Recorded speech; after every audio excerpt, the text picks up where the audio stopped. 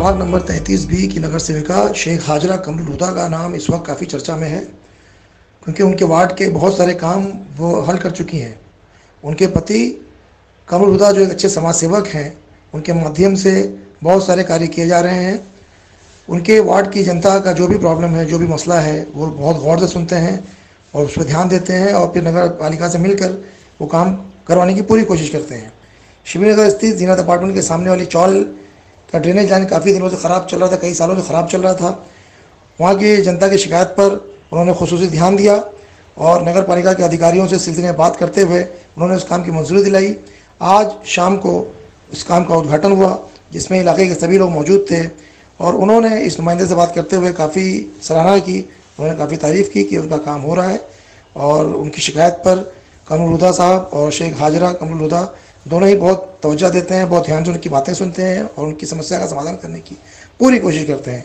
इस विषय में आज यहाँ पर अधिकारियों के और लोगों की मौजूदगी में उन्होंने इस कार इस काम की शुरुआत की है और कल से बाकायदा इस ड्रेनेज लाइन की मरम्मत का काम शुरू हो जाएगा। बता दें कि इलाके की जनता उनके इस काम से बहुत खुश है और वो वो कहते हैं कि पाँच साल पहले की जो हालत थी वो काफ़ी बदल चुकी है, रोड बन चुका है मरम्मत का काम काफ़ी हो चुका है स्ट्रीट लाइट का काम काफ़ी हो चुका है और आगे भी जो जो बातें उनसे की जा रही हैं उन्होंने जो जो वादे किए थे वो एक एक करके पूरे करते जा रहे हैं आपके माध्यम से बताना चाहता हूँ यहाँ के लोग काफ़ी दिनों से बहुत परेशान थे हाँ। हमारे पास आए ऑफ़िस पे आए हाँ। ये हमारे यहाँ का गटर का तकलीफ़ है बहुत तकलीफ़ थी तो हमने तत्काल इसका मंजूरी करवा के काम चालू करने के लिए आप देख सकते हैं कितना एकदम से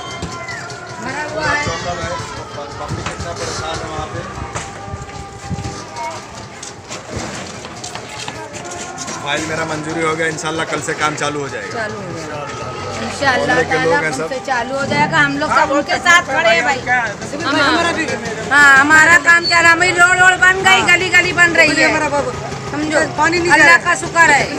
समझो। हमको बहुत आराम है जब से हमारे बहुत बहुत अल्लाह का शुक्र है भाई कि हमारे रिपोर्टर अल्हम्दुलिल्लाह जो भी काम लेके हम लोग जाते हैं सुनवाई करते हैं और उसमें दिलचस्पी से काम करते हैं। अलहमदिल्ला ये हमारा गडर जो था बहुत दिनों से परेशान थे। यहाँ तक कि पानी निकलने का कोई चांस नहीं था लेकिन अलहमदिल्ला ये कल से काम शुरू हो रहा है। इन सब सही हो जाएगा।